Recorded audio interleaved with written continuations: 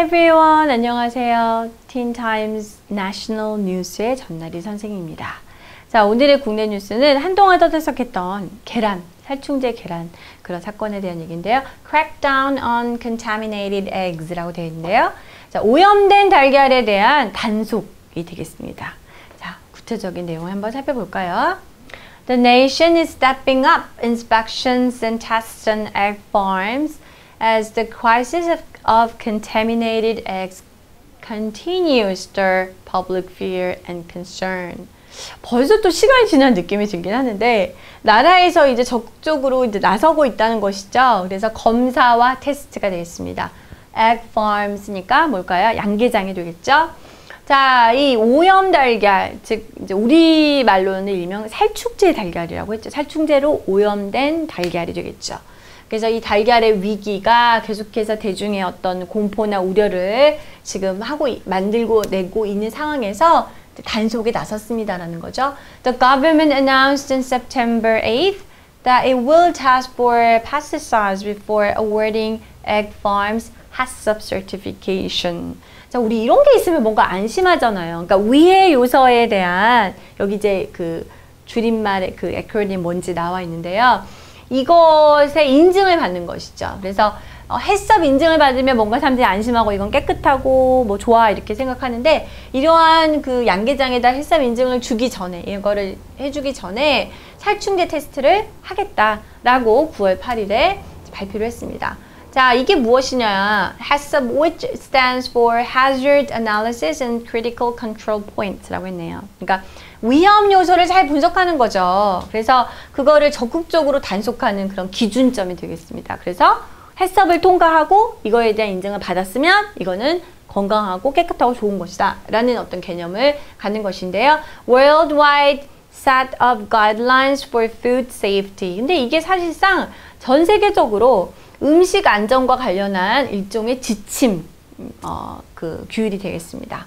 The Korean Agency of HACCP Accreditation and Services 일명 KHAS가 되겠죠. 그래서 해썹 인증 서비스국이 되겠습니다. 우리나라 해썹 관리국이 되겠죠. Said it will test for pesticides, other agriculture chemicals, and residual medicines like antibiotics before issuing the HACCP recognition. 자, 그래서 우리나라 K하스 측에서도요, 우리가 살충제가 있는지 없는지에 대한 테스트를 하겠다라는 것이죠. 혹은 이것뿐 아니라 다른 어떤 농, 농사를 지을 때 쓰게 되는 화학품이 되겠죠. 그래서 뭐 그런 농약 같은 그런 게 없는지 혹은 잔여 그런 약품, residual 이런 거 뭐가 남아있는 이라는 얘기가 되겠죠. 그래서 항생제 같은 그런 잔여품이 그 약품이 없는지 해썹의 인증을 딱 발행을 해주기 전에 이러한 것들을 철저히 테스트하겠다라는 건데 실제로 이제 해썹을 할 줄, 주려고 하면은 이런 것들에 대한 검사는 당연히 하지 않았을까라는 생각을 우리는 하는데 좀 더 기준이 엄격해졌다는 의미가 되겠죠. KHAS has discovered that as many as 28 egg farms out of the 52 that violated the level of allowed pesticide residue had HACCP certification. 자, 이제 KRC에서 조사를 해봤더니 이 대이하의 사실을 발견했다라는 것이죠. 자, 근데 충격적인 건 뭐냐면 52개 양계장 중에서 28개 양계장. 자, 그런데 그것도 그 살충제 잔여물이 되겠죠. 레지류라는 건요. 그래서 패스사 레지류의 그 허용치를 살충제 잔여물의 허용치를 넘어선 그러니까 위반한 것이 52개 양계장 중에서 28개나 되었는데 그들이 해썹 인증을 받았었다는 사실에 대해서 발견한 것이죠. 그러니까 발각이라고 얘기를 해야 되겠죠. 김병훈 of KHA said that herbicides and insecticide will now be included in the evaluation evaluation system which currently focuses on antibiotics and other re, uh, residual chemicals for animals. 자, KRC 김병훈 어, 뭐 직급 있으시겠죠. 이분께서 말씀하시기를 농약이나 이제 살충제도 포함이 될 것이다 라는 얘기는 이때까지 안 됐다는 의미가 되겠네요. 이 평가 시스템에서 그러면 이 평가 시스템 주로 뭘 했었냐라는 게 뒷부분에 나와 있습니다. 그래서 항생제라든지 다른 잔여 화학품 동물에 있어서 그런 것에다가 포커스를 맞추고 있는 거기에 초점을 두고 있는 현행의 그런 평가 시스템에다가 이제는 살충제랑 농약 성분도 엄격하게 조사하는 걸로 포함을 시키겠다라고 KS 측에서 밝힌 것이죠.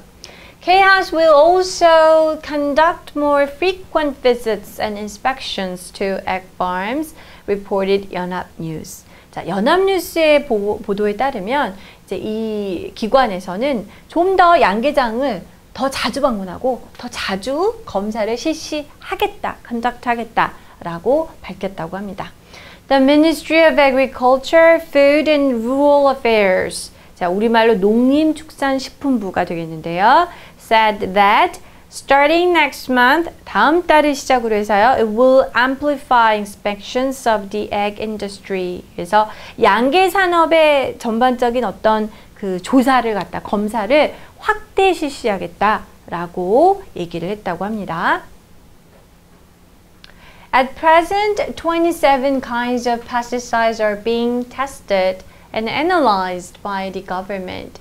자, 현재 기점으로 봤을 때요, 27종류의 살충제가 지금 정부 측에서 검사되고 또 지금 분석되고 있는 상황이라고 합니다. 우리가 이제 현재 진행 수동태가 되겠죠. However, it was found out that some of the contaminated eggs were tainted with DDT, a colorless, tasteless, odorless, and poisonous pesticide that became a prohibited chemical in Korea in 1979. 자, 그런데요, 발견된 것이 있는데요. 그 오염된 그 계란, 살충제 계란의 일부 계란에서는 이게 DDT가 이제 그걸로 이제 오염되는 게 발견됐는데 이게 무서운 게 뭐냐면 색깔도 없고 맛도 없고 냄새도 없어요. 다만 독성이 있는 것이죠. 독성이 있는 살충제가 되겠습니다. 그리고 이거는 1979년에 우리나라에서 금지된 화학품이라고 하네요.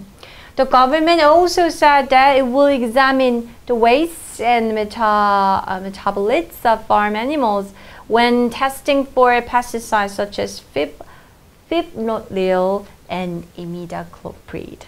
자, 이거는 그 화학물질 이름이 되겠습니다. 그래서 정부에서는요, 또한 발표하기를 이제 그 배설물이 되겠죠? 그리고 신진대사물, 우리가 신진대사가 메타볼리즘이잖아요.